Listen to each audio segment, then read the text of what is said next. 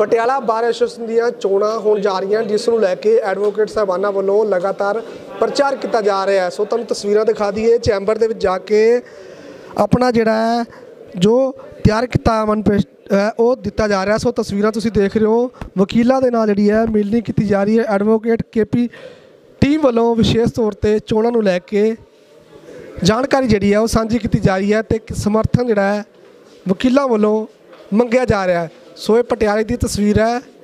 ਸੋ ਅਸੀਂ ਗੱਲਬਾਤ ਵੀ ਕਰਾਂਗੇ ਜਿਹੜੇ ਕੀ ਏਜੰਡੇ ਰਹਿਣਗੇ। ਸਰ ਪ੍ਰਚਾਰ ਕੀਤਾ ਜਾ ਰਿਹਾ ਹੈ। ਕਿੱਦਾਂ ਦਾ ਰਿਸਪੌਂਸ ਮਿਲ ਰਿਹਾ ਹੈ? ਮੈਨੂੰ ਬਹੁਤ ਪਿਆਰ ਮਿਲ ਰਿਹਾ ਜੀ।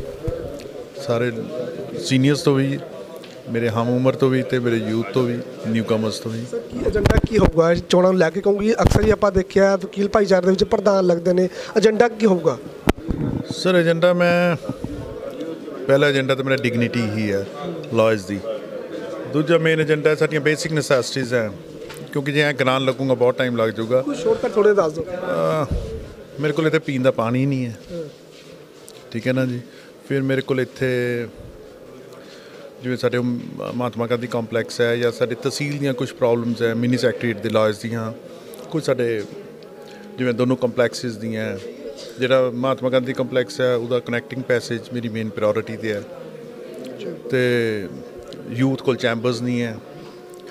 ਤੇ ਮੈਂ ਪਿਛਲੀ ਵਾਰੀ ਜਦੋਂ ਮਹਾਤਮਾ ਗਾਂਧੀ ਕੰਪਲੈਕਸ ਵਾਲੀ ਜਿਹੜੀ ਸਾਈਟ ਹੈ, ਜੋ ਮੈਂ ਪਹਿਲਾਂ ਪ੍ਰਧਾਨ ਬਣਿਆ ਸੀਗਾ, ਉਹ ਉਦੋਂ ਹਾਈ ਕੋਰਟ ਨਾਲ ਕਰਕੇ ਤਾਂ ਉਹ ਜਗ੍ਹਾ ਅਲਾਟ ਕਰਾਈ ਸੀਗੀ। ਫਿਰ ਬਣਾਏ ਪਿੱਛੋਂ ਗਰੇਵਾਲ ਸਾਹਿਬ ਨੇ। ਐਵੇਂ ਇੱਕ ਹੋਰ ਜਗ੍ਹਾ ਸਾਈਟ ਨਿਗਾਹ ਚ ਹੈਗੀ ਹੈ ਜੀ, ਜਿੱਥੋਂ ਮੈਂ ਨਿਊ ਕਮਰਸ ਲਈ ਚੈਂਬਰ ਲੈ ਕੇ ਆਉਣਾ ਚਾਹੁੰਦਾ। ਉਮੀਦ ਹੈਗੀ ਜਿਹੜੇ ਵਕੀਲਾਂ ਦੀਆਂ ਸਮੱਸਿਆਵਾਂ ਨੇ ਲਗਾਤਾਰ ਲਟਕਦੀ ਆ ਰਹੀਆਂ ਸਰਕਾਰ ਵੱਲੋਂ ਵਾਅਦੇ ਬੜੇ ਕੀਤੇ ਗਏ ਸੀ। ਪਿਛਲੀ ਸਰਕਾਰ ਵੱਲੋਂ ਵੀ ਕਿਹਾ ਜਾ ਸੀ ਵੀ ਅਸੀਂ ਚੈਂਬਰ ਜਿਹੜਾ ਅਲਾਟ ਕਰਾਵਾਂਗੇ ਉਹ ਵਿੱਚ ਹੀ ਲਟਕ ਗਈਆਂ। ਕੀ ਲੱਗਦਾ ਉਮੀਦ ਹੈਗੀ ਆ ਵੀ ਜਿੱਤਣ ਤੋਂ ਬਾਅਦ ਇਹ 100% 100% ਤੇ ਅੱਜ ਤੱਕ ਮੇਰੇ ਪੁਰਾਣੇ ਮੈਨੀਫੈਸਟੋ ਵੀ ਤੁਸੀਂ ਜੇ ਚੱਕੋਗੇ ਮੇਰਾ ਕੋਈ ਮੈਨੀਫੈਸਟੋ ਅਧੂਰਾ ਨਹੀਂ ਰਹਿੰਦਾ। ਤੇ ਹਮਾਰਾ 100% ਪੂਰੇ ਕੀਤੇ ਹੈ ਤੇ ਇਹ ਵੀ 100% ਪੂਰਾ ਹੋਏਗਾ। ਵਕੀਲ ਭਾਈਚਾਰੇ ਨੂੰ ਕੀ ਕਹਿਣਾ ਚਾਹੁੰਦੇ ਹੋ? ਜਿਹੜਾ ਸਮਰਥਨ ਦੇ ਰਹੇ ਨੇ ਵੀ ਉਹ ਆਪਣੇ ਜਿਹੜਾ ਸਹਿਯੋਗ ਦੇਣ। ਜਿਵੇਂ ਉਹਨਾਂ ਨੇ ਮੈਨੂੰ ਪਹਿਲਾਂ ਪਿਆਰ ਦਿੱਤਾ ਸੀ ਤੇ ਮੈਂ ਉਹਨਾਂ ਨੂੰ ਕਦੇ ਵੀ ਉਹਨਾਂ ਦੀ ਗਰਦਨ ਨੀਚੇ ਨਹੀਂ ਹੋਣ ਦਿੱਤੀ ਜਾਂ ਪੂਰੀ ਲਾਜ਼ ਫਟਰਨਿਟੀ ਦੇ ਉੱਤੇ। ਸੇਮ ਆਵੇਂ ਮੈਨੂੰ ਦੁਬਾਰਾ ਇੱਕ ਵਾਰੀ ਫਿਰ ਦੁਬਾਰਾ ਸਾਨੂੰ ਚਾਂਸ ਦਿਓ ਤੇ ਪ੍ਰਾਊਡ ਫੀਲ ਕਰਾਉਂਗਾ ਸਾਰੀ ਡਿਸਟ੍ਰਿਕਟ ਬਾਰ ਨੂੰ ਵੀ ਐਸੋਸੀਏਸ਼ਨ ਜਾਂ ਸਰ ਮੇਰਾ ਮੇਨ ਨਟਸ਼ੈਲ ਦੇ ਦੋ ਵਰਡਸ ਕੱਲ ਮੁਕਾਵਾਂ ਤਾਂ ਮੈਂ ਵਕੀਲ ਸਾਹਿਬ ਵਰਡ ਵਾਪਸ ਲੈ ਕੇ ਆਣਾ ਹੈ।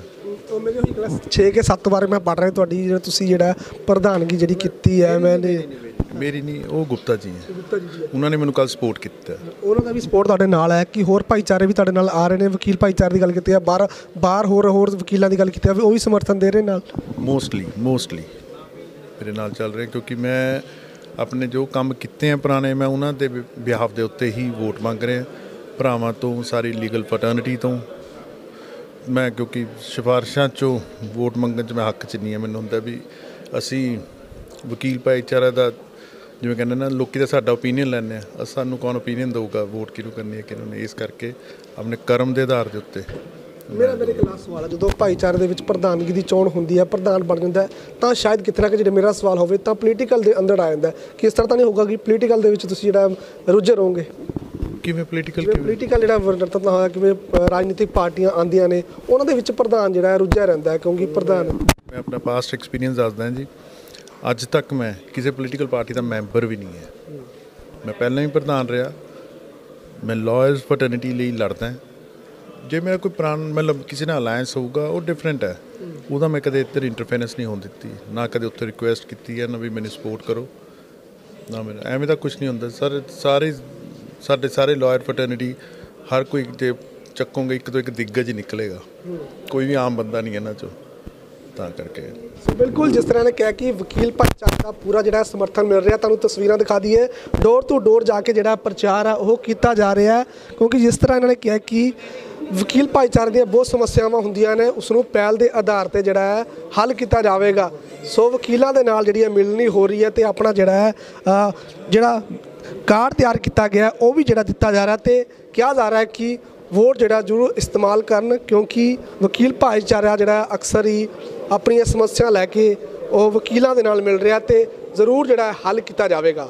ਪਟਿਆਲਾ ਤੋਂ ਅਮਰਜੀਤ ਸਿੰਘ ਦੀ ਵਿਸ਼ੇਸ਼ ਰਿਪੋਰਟ।